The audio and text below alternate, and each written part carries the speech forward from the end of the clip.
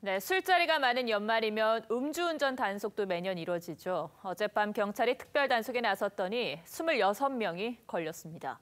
단속 과정에서도 웃지 못할 일들이 벌어졌는데 차를 버리고 도주를 시도하는가 하면 감염 우려를 내세워서 단속에 항의하는 운전자도 있었습니다. 노도일 기자가 동행 취재했습니다.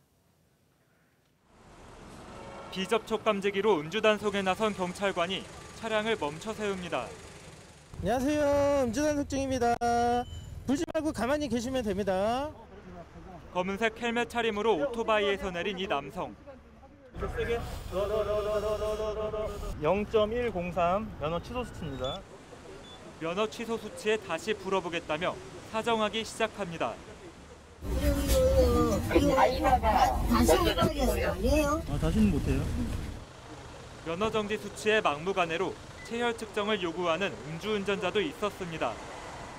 이거 이 측정에 대해서 인정을 못하고 아무 피를 뽑아가지고 필좀 뽑아주세요. 나는 지금 정지 받으면 안 돼요. 차를 버리고 달아났다 붙잡힌 이 남성은 면허 정지 수치가 나오자 조사를 거부했습니다. 아무것도 얘기 안 해요.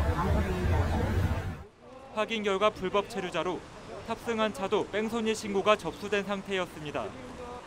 비접촉 방식이었지만 감염 우려를 내세워 음주 단속에 항의하는 운전자도 적지 않았습니다. 코로나 없다는 보장이 있어요? 없다는 보장이요? 이거 최대한 코로나 안 걸리게 새로 나.